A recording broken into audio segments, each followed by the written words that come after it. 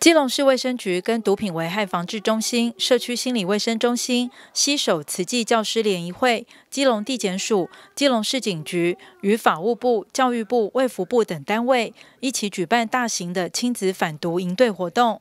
多位议员也到场共襄盛举。开幕活动中，特别邀请到香巴拉剧方，以青少年的视角演出精彩的反毒冒险故事，将正确的反毒观念传递给每位亲子朋友。来来来，第二包，哇，这是不同口味的小蓝莓口味的，来来试试看。呃，不要，不要，以后不要了。那没关系，没关系。呃，阿姨准备第三包了啊。这个是我新出的起司口味，要不要试试看啊？No，No，No，No。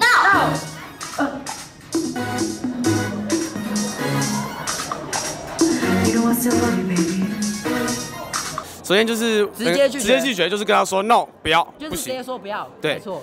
再就是有一劝服，就是我们身为他的好朋友，我们必须要跟他劝服他，就是跟他说吸毒是不好的啊，然后不要呃不要再吸毒了，要戒毒这样子。然后再是我们的自我解，然后自我解的话就是以自己为发。假如有人卖毒给我们的话，我们就说啊，我们就烂，我们就不好，我们就不敢吸毒，这样子的方式去呃带过去。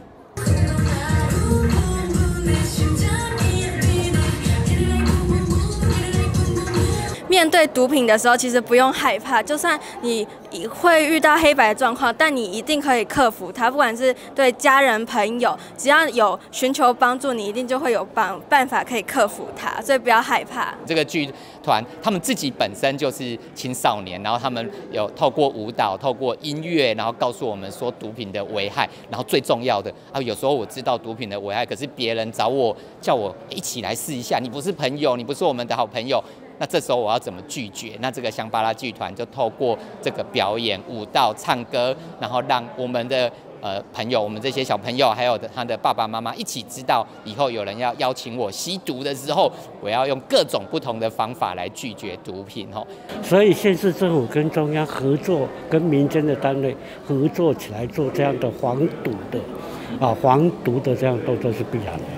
是必须的，所以大家一起来。那卫生局在暑假的刚开始就赶快来举办这个反毒的活动，哦，是非常有意义的。因为我们知道基隆有蛮多隔代教养的一个问题，在暑假期间让让小朋友能够多方的了解反毒的专业的一个知识的话，对小朋友来讲是有益的。那我们也希望这个毒品的危害在我们的下一代就能够终止。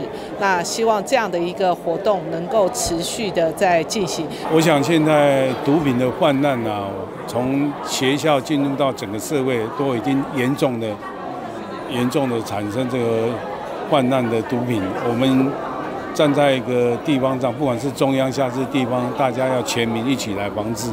尤其啊，呃，法务部有鉴于毒品的泛滥，结合的我们慈济跟教育教育部及教育处相关单位，还有卫生署。相关单位一起合作，我想这个是非常好的。那尤其暑假当中，让举办这个反毒的先导营，我想非常棒的。反毒营队活动精彩，有教育部与国立自然科学博物馆合作开发的袖珍 3D 反毒特展，还有一系列的亲子反毒闯关活动。哎，好，第一组首先获得两分，谢谢。